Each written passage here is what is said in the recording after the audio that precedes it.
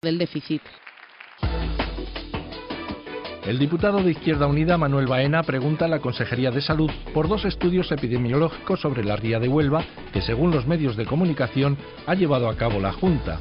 Quiere saber si estos informes existen y si han sido entregados al defensor del pueblo, dado que ante la falta de respuesta de la Administración, este órgano había encargado con su presupuesto un informe a la Sociedad Española de Epidemiología.